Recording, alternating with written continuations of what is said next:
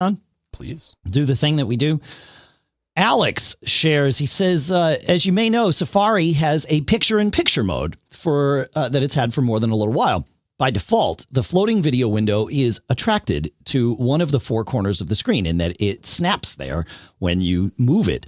He says, but if you hold the command key while moving the window around, it will not get pulled to the nearest corner. Instead, it will remain wherever you leave it, allowing your picture in picture window to end up wherever you prefer.